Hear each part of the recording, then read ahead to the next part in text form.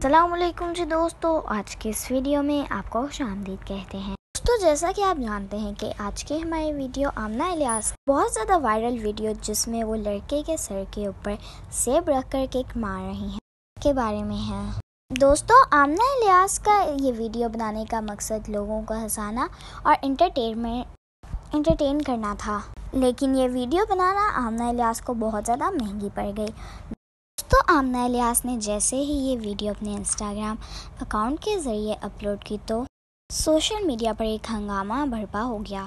दोस्तों, ये वीडियो देखकर लोगों ने और पाकिस्तान शोबेज़ इंडस्ट्री के मशहूर तरीन सेलिब्रिटीज़ ने भी इनको बहुत ज़्यादा तनकीद का निशाना बनाया। लोगों का कहना था कि लोगों को हंसाने के और भी बहुत से तरीके हैं। ये तो गलत बात है कि आप किसी के मुँह पर लात मारें। इसी वीडियो की वजह से आमना इलियास को बहुत ज़्यादा शर्मिंदगी का भी सामना करना पड़ रहा है।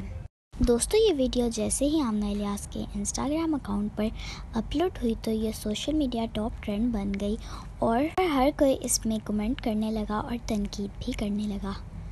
दोस्तों, आपको आमना इलियास की ये वीडियो कैसी लगी? क्या आमना इलियास को ऐसी हरकत करनी चाहिए थी? कमेंट बॉक्स में अपनी राय से आगा करना मत भूलिएगा और प्लीज़ जिन्होंने अभी तक मेरे चैनल को सब्सक्राइब नहीं किया, जल्दी से चैनल को सब्सक्राइब कर लीजिए। इसी इसी के साथ मुझे इजाज़त दीजिए, मिलती हूँ अगले अच्छे से किसी नेक्स्ट वीडियो के साथ। अल्लाह हाफिज़।